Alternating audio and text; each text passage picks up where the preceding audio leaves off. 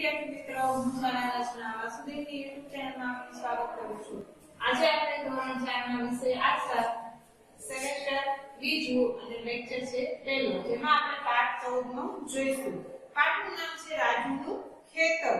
હવે રાજુ નામનો એક છોકરો છે એના ખેતરમાં કઈ રીતે શું વાવે છે એના વિશે આપણે આ પાઠમાં જોવાનું છે. જે રાજુના પપ્પા છે, એ ખેતરમાં જાય છે, ખેતી કામ કરે છે અને એનું ઘર ક્યાં છે? તો કે રાજુ છે, ગુજરાતના ઈડર તાલુકાના વસઈ ગામમાં રહે છે. તમને પ્રશ્ન પૂછવામાં આવે કે રાજુ ક્યાં શહેરમાં રહે છે? તો કે ગુજરાતના ઈડર તાલુકાના વસઈ ગામમાં રહે છે. ઓક્ટોબર મહિનો ચાલી રહ્યો છે. દરેક વર્ષની જેમ મારા પિતાજી ડુંગળીનો પાક માટે ખેતર તૈયાર કરી રહ્યા છે. આ સમયે ખેતરમાં ઘણા બધા કામ કરવાના હોય છે. પિતાને મદદ કરવા હું પણ ખેતરે જાઉં છું. છેલ્લે થોડા દિવસથી પિતાજી કોદાળી વડે જમીન ખોદી રહ્યા છે. જેથી ખેતર છે એ નરમ અને પોચું બની જાય છે. હવે શું કરે છે કે રાજુ છે એ પોતે એના પિતાજી સાથે ખેતરે જાય છે.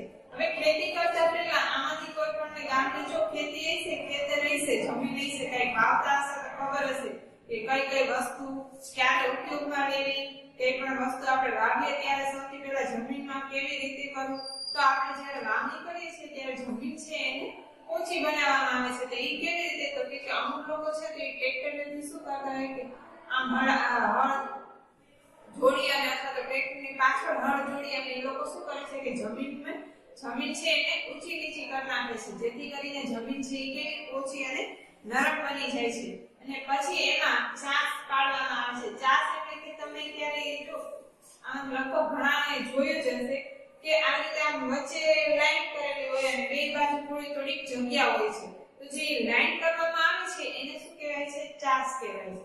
એટલે ચાસમાં છે એ બીજ નાખવાના હોય છે અને બીજ પણ એવી રીતે નાખવા પડે છે, કઈ રીતે? તો કે એક સરખા સરખા પ્રમાણ.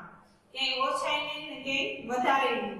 બીજ પણ એક સરખા અને વ્યવસ્થિત રીતે નાખવા જોઈએ, જોવે. અને એક અંતરે સમય અંતરે એટલે કે અહીંયા નાખ્યા પછી બીજી જગ્યાએ નાખો ત્યારે એક સરખા જ બીજ પડવા જોઈએ તો જ તે એની વ્યવસ્થિત રીતે એની વાવણી થઈ કહેવાય તો હવે રાજુના પપ્પા છે એ શું કરે છે તો કે એ ડુંગળીની ખેતી કરે છે. ડુંગળી વાવે છે સૌથી પહેલા. તો એ સૌથી પહેલા એ કોદાળી લઈ અને જમીન છે એને ઓછી બનાવે છે. અને ત્યાર પછી એમાં હળ ચલાવી અને ચાસમાં બીજ નાખે છે. તો હવે રાજુ છે એ પણ એવું વિચારે છે કે મારે પણ મારા પિતાજીની છે બીજ વાવવાનું કામ કરવું છે. તો એના પિતાજી એને કહે છે કે રાજુ કે આ કામ એટલું સહેલું નથી, તું જેટલું ધારા છો. એટલે કહે છે કે બીજ પરંતુ પિતાજી કહે છે, ચોક્કસ અંતરે પૂરતા પ્રમાણમાં બીજ નાખવા ખૂબ જ જરૂરી છે. એટલે કે ચોક્કસ અંતરે, એટલે કે ગમ એમ. આયન નાખે આયન એટલે એમ નહીં, ચોક્કસ અંતરે અને પૂરતા પ્રમાણમાં બીજ નાખવા જોઈએ. કે વધારે નહીં અને કે ઓછા પણ નહીં. અને જો ગમે તે એક જગ્યાએ નાખી દઈશું તો એ ચાલશે નહીં. ખેતર ખેડવા પ્રાણીઓ સિવાય બીજી કઈ રીતનો ઉપયોગ થાય છે? તો કે આપણે જોઈએ છીએ કે પહેલાના જમાનામાં બધા માણસો છે બળદ દ્વારા બળદને, બળદની પાછળ હળ બાંધી અને ખેતી કરતા અને અત્યારે તો કે હવે ટ્રેક્ટર આવી ગયું છે, તો ટ્રેક્ટરની પાછળ હળ બાંધી અને ખેતી કરે છે. બરાબર? હવે બીજને વાવી અને 20 દિવસ થઈ ગયા છે. ડુંગળીના બીજ અંકુર થવાના ચાલુ થઈ ગયા છે. ડુંગળીના છોડની સાથે નીંદણ પણ ઉગ્યું છે. હવે નીંદણ એટલે શું?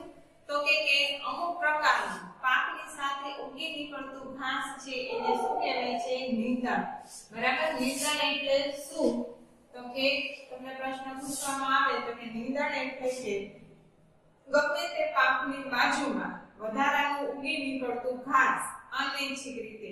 આપણે એને વાવ્યું નથી, પણ જે આપણે વાવતા હોય ત્યારે અચાનક ક્યાંક એકાદું બી પડી ગયું હોય તો અથવા તો આમનામ ઉગી નીકળતું ઘાસ હોય છે, તેને નીંદણ કહે છે. અને નીંદણ પણ સમયસર એને નીંદણને પણ પાક પાકથી દૂર કરવું જોઈએ.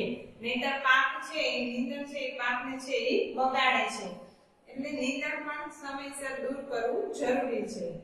ડુંગળીના પાકને જોઈને મને આનંદ થાય છે. મારા ઘૂંટણ છે એટલા ઓછા થઈ ગયા છે, પાંદડા પીળા થઈ ગયા છે, એટલે એનો મતલબ એવો છે, હવે ડુંગળીનો પાક તૈયાર થઈ ગયો છે એ ક્યારે આપણે સમજીએ તો કે પોતે ગાંધીજીના અંગો છે, એટલે કે ગોઠણ જેવડા એટલે કે અવડા અવડા છોડવા થઈ ગયા છે અને એના પાંદડા છે, કેવા થઈ ગયા છે? પીળા થવા લાગ્યા છે. એટલે આ પાન અને એ બધું જોઈ અને રાજને થયું કે હવે ડુંગળી છે એ ડુંગળીનો પાક છે એ તૈયાર થઈ ગયો છે. દરેકે ડુંગળીના પાકને લણવા મદદ કરવી પડશે. તે સમયસર થવું ખૂબ જ જરૂરી છે. ગમે તે વસ્તુ આપણે ભાઈની હોય તો એની સમયસર આપણે લણણી લણણી એટલે કે એને કાઢી લેવું પણ જરૂરી છે. જો વધુ સમય તે જમીનમાં રહે તો તે વગડવાની શક્યતા રહે છે. અથવા તો વરસાદ આવે અથવા તો શિયાળો હોય તો ઝાકળ પડે તો અમુક પાક છે એ ખરાબ થઈ જાય છે. એટલે એને સમયસર એને લણી એટલે કે લણી લેવું પણ જરૂરી છે. ત્યાર પછી રાજુ છે એ ઘરમાં કામમાં બધામાં મદદ કરે છે. કઈ રીતે? તો કે હવે રાજુના પપ્પા છે. એ પોતે ખેતરમાં જાય છે ખેતરેથી જે ડુંગળીનો પાક છે ઈ લણે અને ઘરે લાવે છે.